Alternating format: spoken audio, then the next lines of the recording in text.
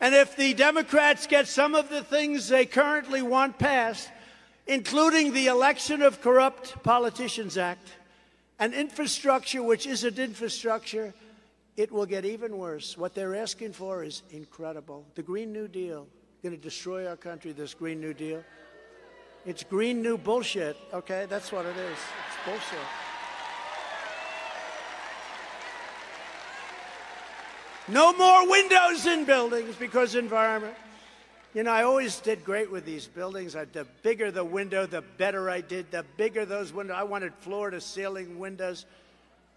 But they say you can't do that anymore. We don't want any more windows. It's going to be real hard to sell apartments, I think.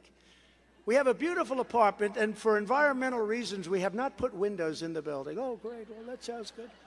These people are crazy. Whatever happened to cows? Remember, they were going to get rid of all the cows? They stopped that. People didn't like that. Remember? You know why they were going to get rid of all the cows. People will be next. People will be next. Sadly, even in many red states, the RINOs are letting the radical left have their way on everything. You know that. In, in fact, I have to say this. In many cases, these weak Republicans or RINOs these weak Republicans are worse. They're worse than Democrats. And you have a couple of examples right here in Arizona. And don't nod and don't say it because I don't want to get you in trouble. Maybe you can convince them to do what's right. But you have a couple of them right here in Arizona, and nobody knows. And I'll tell you what, they're going to be defeated as sure as you're sitting there, they're going to be defeated in the primaries by real Republicans.